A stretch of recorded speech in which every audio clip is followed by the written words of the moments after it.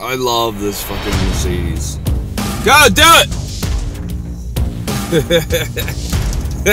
oh shit. That is awesome if you are in front of someone and do that to them. I love that fucking Mercedes. I love it. I love it. I love it. I love this Mercedes. You do this when you're in front of them. It's great.